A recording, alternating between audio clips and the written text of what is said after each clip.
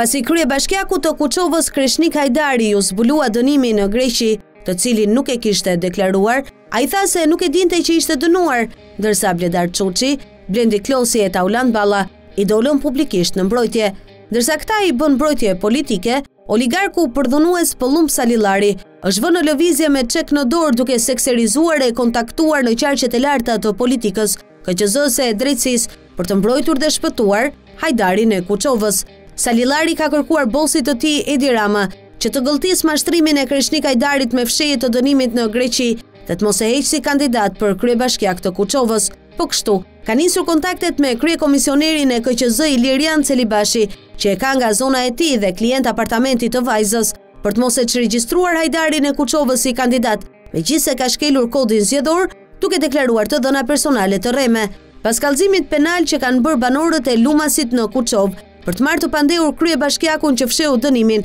ka informacione se oligarku Pëllumb Salillari ka trokitur me çek në dorë edhe te klientët e tij në SPAK që Hajdari i Kuçovës të mos procedohet penalisht. Efekti i çekut të Salillarit do duket te fakti nëse Babloku dhe Celibashi i KQZ nuk do ta çregjistrojnë Kreshnik Hajdarin si kandidat për Bashkinë e Kuçovës, ndërsa Altin Dumani i SPAK nuk do t'i pezullojë kandidimin dhe nuk do ta marrë të pandehur. Për Salillarin, kryebashkiaku Hajdari është shumë i rëndësishëm, pasi bashkë kanë vjedhur 2 milionë euro në fondin 3.6 milionë euro të ujësjellësit fantazmë të Lumasit, si dhe kanë bërë letrat false për grabitjen e ujit të kanionit Sinec ku Salillari do ndërtojë fabrikë uji. Për këtë ujësjellës e shkatërrim të zonës park i mbrojtur natyror Sinec, të kallëzuar në SPAK nga banorët e Lumasit para një viti, oligarku Salillari e ka shpëtuar nga burgu Hajdarin e Kuçovës, për të cilin thuhet se e ka paguar treqind mijë euro tek pazarxhinjtë e SPAK-ut. Tani duhet të paguajë përsëri që ta mbrojë Hajdarin e Kuçovës në PS e KQZ për të mos e çregjistruar si kandidat dhe në SPAK për të mos e marrë të pandehur,